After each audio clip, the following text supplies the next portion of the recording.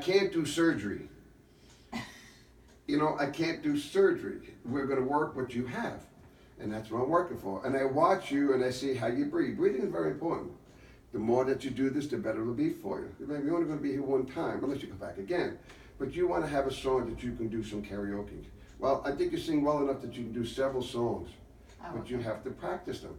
You just don't wanna go up there and say, hey, look at me, and shake it all day long. You know, if you couldn't sing at all, I would say, listen, forget about it.